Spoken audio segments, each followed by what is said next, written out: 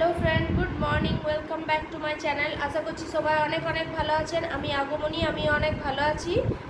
আর আজকে হচ্ছে Sunday Sunday সকাল আটটা বাজে। একটু আগে আমি ঘুম থেকে উঠেছি। আর সানডে বলে একটু দেরি করে ঘুম থেকে উঠলাম। আইসির বাবা অনেকক্ষণ ধরে বলছে, চলো চলো, বাজারে চলো বাজারে, চলো। বললাম, তুমি করে নিয়ে আসো, কিন্তু একা যায়নি সে আমাকে যেতে হবে। তো আজ পুরো ভিডিওটি স্কিপ না করে পুরো ভিডিওটি দেখবেন। আজকাল ভিডিওটি খুব ইন্টারেস্টিং হতে চলেছে। আর এখানে বসে আছি আমি এক কাপ চা বিস্কুট আইসি তো দুধটা দিয়ে এসেছি রান্নাঘরে নিয়ে। তো এই চাটা খেয়ে নিই, চাটা খেয়ে এই দেখুন, একজনা, এটা হচ্ছে বাঘ। বাঘা কর? আয়ুষি এই তারক মেহতার এই ক্যারেক্টারগুলো ঠিক করতে পারে, তারক মেহতা দেখে ওই জন্য। আর ওর বাবা রেগে একদম ভূত হয়ে যায় এরকম বাঘা সাজলে আয়ুষি কি সেজেছিস বল? বল গুড মর্নিং বল। গুড মর্নিং জোরে বল শুনতে গুড মর্নিং তো আজ সানডে ওই জন্য একটু যাব জোর জোরজবস্তি নিয়ে যাচ্ছে তো একটু সবজি মার্কেট যাব। এই যে হাতে থলি নিয়ে নিয়েছি। আসছে আইসে বাবারা। চলুন দেখ দেখা কি কি আনা যায়। আজ তো চলে এসেছি হচ্ছে আমরা হচ্ছে বাজারে। এখানে মটন নিলাম আর ঠাকুরের জন্য একটু ফুল নিলাম আর একটা মাটির হাঁড়ি নিলাম, যেটাতে আজকে রান্নাটা হবে। বাড়ি চলে এসেছি সমস্ত জিনিসপত্র নিয়ে, কি কি নিয়ে এসেছি সেটা আপনাদেরকে একবার দেখিয়ে নিই তারপর আমি স্নান করে, পুজো করে, তারপর রান্নাটা শুরু করব। তো চলুন আপনাদের দেখিয়ে দিই, এটা কম্পাসটা আয়ুষি রেখে গেল। কি কি জিনিস নিয়ে আসা হয়েছে, সেটা হচ্ছে বিস্কুট আনা হয়েছে দু প্যাকেট। এক জিরে, গোটা জিরে ছিল না, ওই জন্য গোটা জিরে আনা হয়েছে একটা। আর নিয়েছি একটা ফেস ওয়াশ ক্লিন অ্যান্ড কেয়ারের ফেস ওয়াশ মর্নিং এনার্জি এই ফেস ওয়াশটা খুব ভালো। আমি এই এই ফেস ওয়াশগুলো ইউজ করে থাকি। আর দু প্যাকেট বিস্কুট আর একটা দই আমুলের, সেটা মাটন রান্না করব ওই জন্য। আর কাজু কিশমিশ শেষ হয়ে গেছিল, কাজু কিশমিশ। আর এটা হয়েছে, আনা হয়েছে মাটন মশলা মাটন মশলা, এক প্যাকেট আর এখানে আনা হয়েছে, সেটা হচ্ছে ম্যাগি মশলা চার প্যাকেট। ম্যাগি মশলা আমার থাকে। চাউমিন টাউমিন বানালে দিই বা অন্য কোনো রান্না তো একটু দিয়ে দিলে আয়ুষি রান্নাটা ছটপট করে খেয়ে নেয়, ওকে প্যাকেটটা দেখিয়ে দিতে হবে যে দেখ ম্যাগি মশলা দিয়ে দিয়েছি, বাস আয়ুষির খাবার উড়ে খতম। আর এইটা কখন নিয়েছে? এক প্যাকেট চিপস। আর এটাও নিয়েছে যে, মা, এটা খেয়ে একবার দেখব, এটা চ্যালেঞ্জ ভিডিও বানাবো, এটা সবাই বানায়, খুব ভালো হয়। তো যাই হোক, এইটা এক প্যাকেট। আর দুটো পেয়ার সাবান নেওয়া হয়েছে, ছোট ছোট। এই দুটো সাবান। আর এইটা অনেক ঝামেলা করে যে মাটনটা রান্না করব, একটু কালারফুল হবে, এটা ঝাল হয় না। অনেক কিছু বলে পটিয়ে, আর ওখানে অনেকগুলো লোকের সামনে আইসির বাবা আর না না করতে পারল না, ওই জন্য এটা এবার নিয়ে এসেছি। আর এখানে নিয়ে এসেছি যে এই একটা যে মাটনটা যেটা রান্না করব সেটা হচ্ছে এই মাটির হাঁড়ির মধ্যে। সেটা আজ আপনাদের সঙ্গে শেয়ার করতে চলেছি। আপনারা অবশ্যই আমার পাশে থাকুন, দেখুন ভিডিওটি। আর এখানে রয়েছে ঠাকুরের ফুল মালা এগুলো নিয়ে এসেছি। আর মটনটা ওদিকে আমি রেখেছি বেসিনের মধ্যে। আর এখানে নিয়ে এসেছি এই তিনটে ময়ূরপঙ্খ ওই দোকানেই ছিল, তো এটা নিলাম। এই ময়ূরপঙ্খ খুব ভালো লাগে আমার। এছাড়া ময়ূরপঙ্খ বাড়িতে রাখলে টিকটিকি আসে না, এমনি যদিও আমার বাড়িতে এখানে টিকটিকি নেই, কিন্তু এটা আমি সাজিয়ে রাখব ঘরে, কোথায় সাজাবো সেটা আপনাদেরকে দেখাবো অবশ্যই। আর নিচে একটা ফুল ঝাড়ু। বা একটা জিনিস নিয়েছি, চলুন আপনাদেরকে সেটা দেখায় সেটা হচ্ছে এই মাটির হাঁড়িটা, এটার মধ্যে জল রাখব। Focus focus focus. আর একটা হচ্ছে এটার মধ্যে এটা ধুয়ে ভালো করে পরিষ্কার করে জল রাখব। তো চলুন, এইটাই আমার আজকার শপিং আর হাই হাঁড়িটাতে কল লাগানো আছে। এভাবে কল খুললেই জল খাব, আর টুক করে কলটা লাগিয়ে দেবো। তো সেটা আপনাদের সঙ্গে শেয়ার করব, কীভাবে আমি জল খাচ্ছি। এই গরমের সময় এটা একটা খুব ভালো জিনিস যে মাটির হাঁড়ির জল খাব। যদিও মাটির হাঁড়ির জল খাওয়ার আনন্দটাই একটা আলাদা। গরমের সময় মাটির হাঁড়ির এক গ্লাস জল না খেলাম তো আর কী গরম পার করলাম।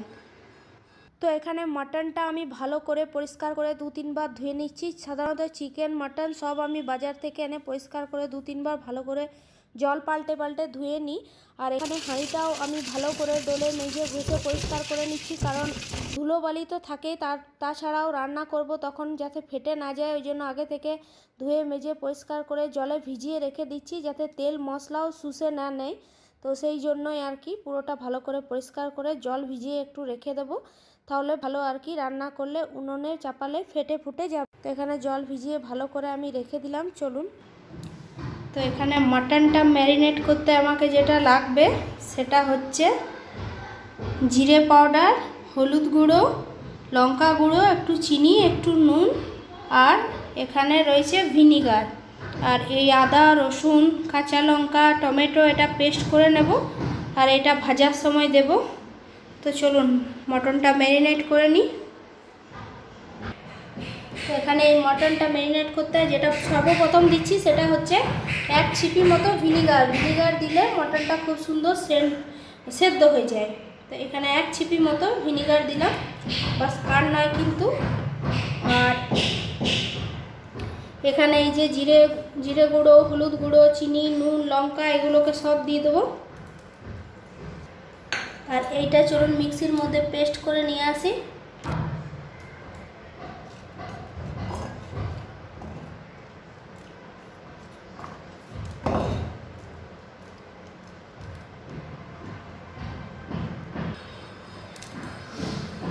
এটা পেস্ট করে নিয়ে চলে এসেছি এটার মধ্যে দিয়ে দেবো সেটা হচ্ছে টক দই দইটা কেটে নিই।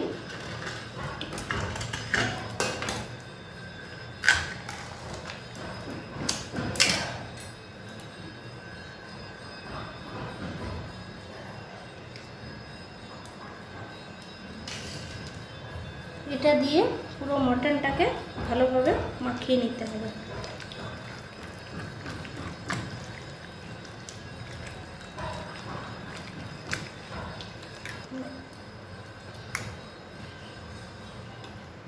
এটাকে আমি এভাবে ঢাকা চাপা দিয়ে আধ ঘণ্টা মতো রেখে দেবো। আধ ঘণ্টা এটা ঢাকা দেওয়া থাক। তারপর আসছি আধ ঘণ্টা পর। চলে এসেছি আমি আমার রান্নাঘরে, আর এখানে গ্যাস অন করে কড়াইটা আমি বসিয়ে নিয়েছি। আর আপনাদেরকে আগেই দেখালাম যে মাটির হাঁড়িটা আমি জলে ভালো করে, এখানে পুরো জলে ভালো করে মাটির হাঁড়িটা আমি ভিজতে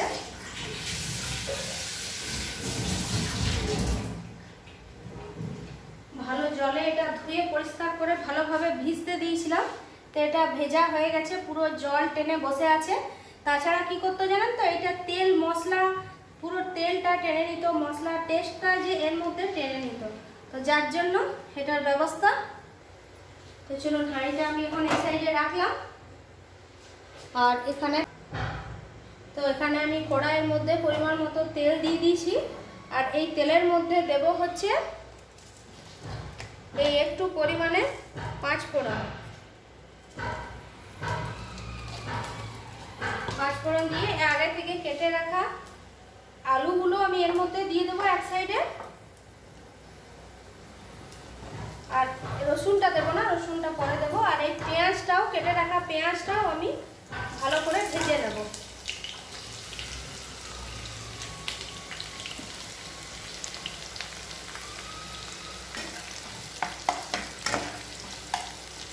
এগুলো একটু লাল করে ভেজে নেব, তারপর পুরো মশলাটা, পুরো কষিয়ে মাংসটা, ভালো করে পুরো মশলাটা কষিয়ে তারপর কিন্তু আমি হাঁড়িটায় দেব। হাঁড়িটায় ফুটে যে সেদ্ধটা হবে, সেটা হবে কিন্তু হাঁড়িটায়। তো এইটাই হচ্ছে আমি সিক্সটি পার্সেন্ট এখানে সেদ্ধ করে নেব মাটনটা, আর ফর্টি পার্সেন্ট আমি হাঁড়িটার মধ্যে কিন্তু সেদ্ধ করব। আর পুরোটাই যদি এটা হচ্ছে একটু চটজলদি রান্না যে হাতে টাইম, আর পুরোটাই যদি হাঁড়িটাই করতে যাই, তাহলে হাঁড়িটা আমাকে অনেক বড় হাঁড়ি আনতে হবে।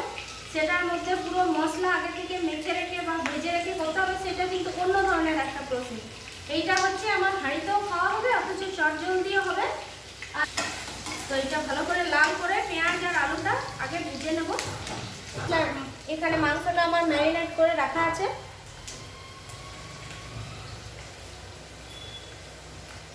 পুরো ভালোভাবে ম্যারিনেট করে রাখা আছে। এখানে হচ্ছে যে মাটনের জন্য পেঁয়াজ আর আলুটা আমি লাল করে ভালো করে ভেজে নিচ্ছি একটু ঢাকা চাপা দিয়ে ভেজে নিচ্ছি। কারণ আর এখানে রসুন দুটো এখন দিয়ে দিলাম একটু ভাজা হওয়ার পর। আর এবার মাটনটা এর মধ্যে দিয়ে দেবো আগে থেকে ম্যারিনেট করে রেখেছি সেটা আপনাদের সঙ্গে শেয়ার করেছি। আর ভালোভাবে মটনটাকে ভালো করে ভেজে কষিয়ে নিতে হবে আর নুনটা দেখলাম একটু কম হয়েছে ওই জন্য আর একটু নুন দিতে হলো আমাকে। আর এখানে দেখুন ভাজাটা হয়ে এসছে, সুন্দর একটা কালার হয়ে এসছে। আর এইদিকে আমি জিরা রাইসটা করে নিয়েছি। আমাদের বিনা মিষ্টি রাইসটা একটু মিষ্টি দিয়েছি, কারণ ও মটন খাবে না।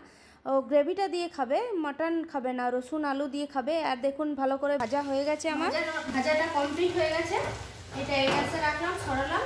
এই গ্যাসটার মধ্যে এবার হাঁড়িটা চাপালাম হে ভগবান ফুটে ফেটে না যায়। মাটির হাঁড়ি এইটা একটা ভয়। আর এই যে মশলার জলটা মশলার জলটা এখানে চর্বিগুলো দিয়ে রেখেছি। এই জলটা আমি এর মধ্যে দিয়ে দিলাম। চর্বিগুলো একটু পরে দেবো চর্বিগুলো রেখে দিলাম। আর এই জলটা দিলাম। আর এই ভাজা মাটনটা এখানে প্রসেসটা হচ্ছে আমি সিক্সটি পার্সেন্ট ভেজে সেদ্ধ করে নিয়েছি তারপর হাঁড়ির মধ্যে দিয়ে দিলাম। আর পরিমাণ মতো গরম জল এখানে আমি অ্যাড করে দিলাম। এবারে এটা ঢাকা চাপা দিয়ে দেবো আস্তে আস্তে এটা হতে থাক। তো চলুন, এটা এবার আস্তে আস্তে হতে থাক। এই আঁচটা আমি একটু কম করে দিলাম। আর দিলাম সেটা হচ্ছে গরম জল। গরম জল করা থাকে আর পুরো ঘেমে নিয়ে আমি একদম অস্থির হয়ে গেছি। এবার একটু ঠান্ডা ঘরে গিয়ে বসবো। আর এখানে আরেকটা জিনিস দেখলেন, তা একবার ভুলেই গেছিলাম। সেটা হচ্ছে এই এমডিএইচ এর মিট কাঁচা মশালা। এটা কিন্তু খুব টেস্টি হয়। তো এটা খুব একটা পরিমাণে দেবো না, কারণ আমি অনেকটাই মশলা দিয়েছি। এটা একটু মতো আমি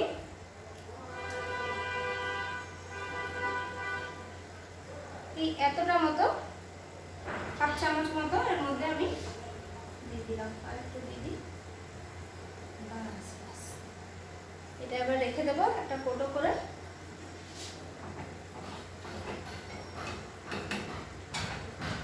চলুন, এইটা ফুটে যাক।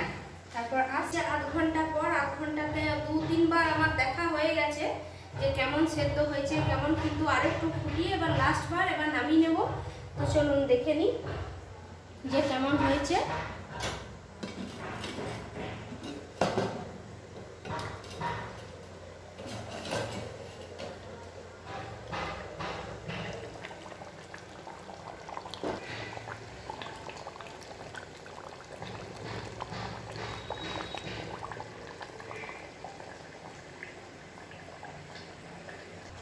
এর আগে দুবার দেখে গেছিলাম তখন সেদ্ধ হয়নি। এখন আরেকবার দেখে নিই সেদ্ধ হয়েছে কিনা। এভাবে একটু দেখে নিতে হবে। হ্যাঁ, এবারে সুন্দর সেদ্ধ হয়ে গেছে। করলে আরও ভালো হয় কিন্তু একটু ঝোল ঝোল ছাড়া আমি খেতে পারব না। ওই জন্য একটু ঝোল ঝোলই করলাম। এটা আরেকবার ভালো করে ফুটিয়ে নিই। নিয়ে গ্যাসটা অফ করে দেবো। তো চলুন, ঠান্ডা হয়ে যাক। প্রায় দুপুর দুটো বেজে গেছে। খিদে মানে অসম্ভব খিদে পেয়েছে আর কি। সেই দই শরবত খেয়ে আছি, আর কিছু আজকে খাওয়াও হয়নি ব্রেকফাস্ট করা হয়নি। আর বিস্কুট খেয়েছিলাম দুটো, সেটা আপনাদের দেখানো হয়নি। তো এখানে হয়ে গেছে রান্না। তো চলুন, এবার খেতে বসার পালা আয়ুষি চলে আয় তোর বাবানকে ডাক সো আজ রান্নাটা করতে একটু দেরি হয়ে গেল। আইসিওর বাবাকে অনেকক্ষণ আমি ওয়েট করালাম। ওখানে স্যালাড কেটে নিয়েছি আর মাটির হাঁড়িটা একটা বাটির মধ্যে বসিয়ে রেখেছি, সেটা আপনারা দেখতেই পাচ্ছেন। আর এখানে নিচ্ছি হচ্ছে আয়ুষির বাবা সাজাচ্ছি আর আইসি সাজাচ্ছি, আমি থালার মধ্যেই নিয়ে নেব। তো চলুন, এবার খেতে থাকি আর আপনাদেরকে জানাই কেমন হয়েছে। তো খাবার নিয়ে বসে গেছি, হচ্ছে আড়াইটা বেজে গেছে। আজ রান্না করতে গিয়ে আড়াইটা বেজে গেছে, আরও একসঙ্গে এক দুটো কাজ করলাম। মাটির হাঁড়ি পরিষ্কার করে জল রাখলাম। আর এখানে আয়ুষি তো দেখালাম, ওর শুধু রসুন আর আলু, ওর কিন্তু মাটন নেই। আর আমাদের হচ্ছে মাটন। তো চলুন খাই, তারপর আপনার